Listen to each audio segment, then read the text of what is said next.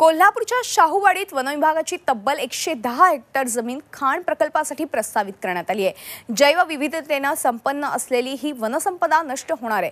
मात्र वनविभाग मूग गिळून गप्प बसलाय. त्यामुळे जनतेत असंतोष पसरला आहे नजर फिरेल तिथवर पसरलेली हिरविकच वनराई. कड्या कपारीतून वाट काढणारे निर्मळ झरे.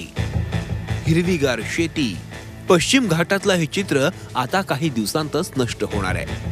कारण कोल्हापुरातील शाहूवाडी तालुक्यातली ही वनविभागाची एकशे दहा हेक्टर वनजमीन खाण प्रकल्पाला देण्यास शासन तयार झालंय. लवकरच इथं ओपन कास्ट लॅटराईट खाण सुरू होईल आणि वर्षभरात हे सारं सौंदर्य नष्ट होईल.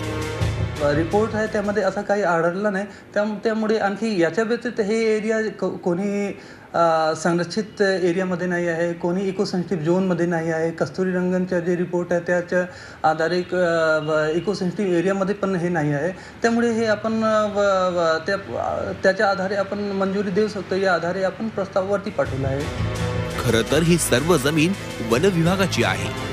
या वनपरिक्षेत्रात अनेक दुर्मिळ वनस्पती प्राणी पक्षी आणि कीटकांचं वास्तव्य आहे. मात्र इथं जैवविविधता नसल्याचा अजब दावा वनविभागानंच केलाय. सीटीसी मध्ये आलेल्या प्राण्यांच्या फोटोंवरून वन विभागाचं पितळ उघडं पडल्याचं ग्रामस्थ सांगतायत. झाडे लावा झाडे वा जगवा. हे कशासाठी मग? आता जी झाडे लावलेत आमच्या डोंगरामध्ये. गेल्या वर्षी झाडीची लागवण केली साडेपाच हजार झाडं लावले ते आणि ती पुढे उद्या पाडायलासाठी का? कशासाठी? आता पुढे उद्या तुम्ही जर तो प्रकल्प साजरा केला तिथे जर चालू केला तर गेल्या वेळी झाडं लावणारे आमच्या लोकांना आमच्या डोंगरा भागातल्या लोकांना सांगितलं की मग आता गवत कापू देत नाहीत जनावरांच्यासाठी आणि झाडे तोडायला परवानगी देते ते शासन असं परवानगी देतं का? शासनानं कशासाठी हा नियम काढलाय? मला कीर्तन सांगायचं नाही पण इथं शास्त्र संतांनी सुद्धा सांगितलं वृक्षवल्ले आम्हा हो, सोयरी वनचरे. पक्षी प्राणी जे वनस्पती आहेत त्यांचा कुणीही विचार केला नाही किंवा आज त्यांनी त्याच्यावर अजिबात बोलले नाहीत. आज डुक्कर आहे गौरेडा आहे तुम्हाला सांगतो नाही हे रानकोंबड्या आहेत. तुम्हाला सांगतो बेकरा आहेत मुंगस आहे ससा आहेत. आ- अनेक अनेक जातीची प्राणी आहेत. अडीचशे व- वनस्पती आहेत या अं, डोंगरात. पूर्ण जर बघितलं तर तर दुसरीकडे खाण प्रकल्पाचे चीफ प्रमोटर यांनी या भागात प्राणी असल्याचं कबूल केलंय. या वन्यजीवांचं संगोपन कंपनी करेल असा अजब दावा देखील त्यांनी केलाय. प्राणी काय सर्वत्र कोल्हापूरमध्ये सुद्धा प्राणी शिरलेले आहेत. बिबट्या कोल्हापूरमध्ये शिरला. म्हणजे तो हा तर डोंगर भाग आहे. प्राणी असू शकतात. त्या प्राण्यांना कोणतीही बाधा होणार नाही. याची दक्षता आमचं कंपनीमार्फत घेतली जाईल. या प्रकल्पाला फक्त ग्रामस्थांचा विरोध आहे असं नाही तर या भागाचे खासदार राजू शेट्टींनीही या खाण प्रकल्पाला विरोध केलाय. राजू शेट्टींनी या वनविभागाच्या जागेत पाझर तलाव बांधला. या तलाव बांधणीच्या वेळी वनविभागानं त्यांची अनेकदा अडवणूक केल्याचं ते म्हणतायत.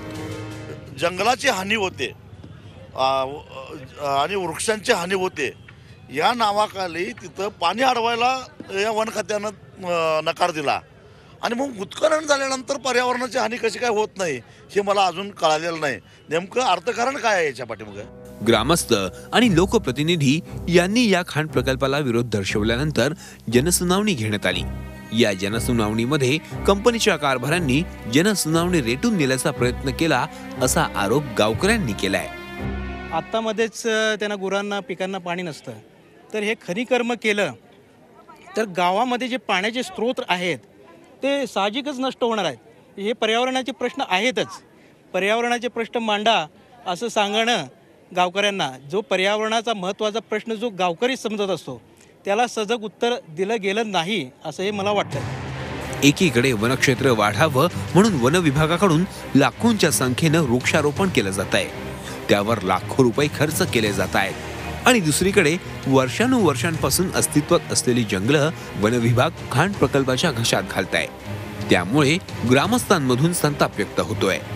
Pratap Naik Zee media Kolhapur.